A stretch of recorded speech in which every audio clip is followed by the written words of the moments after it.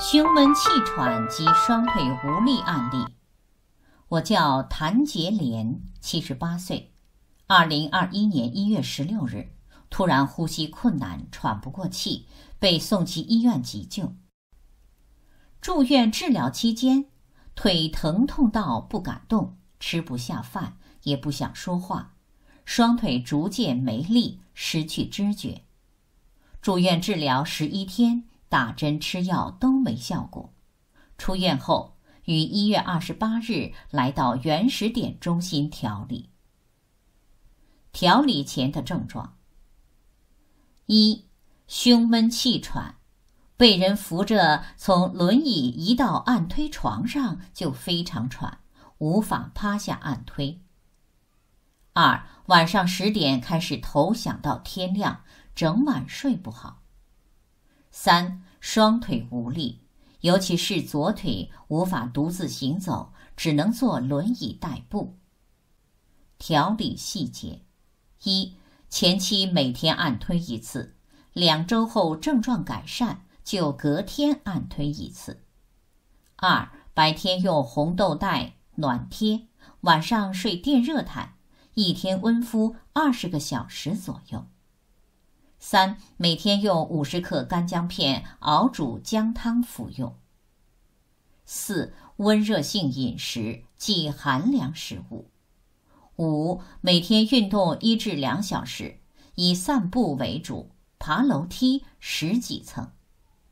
六晚上十点睡，早上四至五点起床，中途起夜一次。调理过程。一月二十八日调理第一天，按推头部及上背部原始点后，胸闷气喘即缓解三成。志工向我讲解舒适寒热表，并教导我如何落实原始点细节。一月三十日调理第三天，可起身走路。二月四日调理第七天。胸闷气喘改善五成，可以趴下按推了；头响改善五成，晚上能睡五至六个小时；双腿比较有力，能扶着墙走十几米。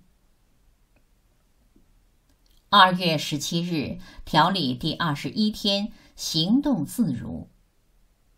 二月二十五日调理第二十八天，胸闷气喘改善八成。能散步三十分钟，不累也不喘了。三月三日调理第三十四天，胸闷气喘、双腿无力的症状完全改善，每次可步行半小时，也可自行上下楼梯，头响也完全消失。四月二十二日调理第八十四天，可轻松爬楼梯，气不喘。精神非常好，感恩张医师大悲大愿研发了原始点，感恩原始点志工们的辛勤付出。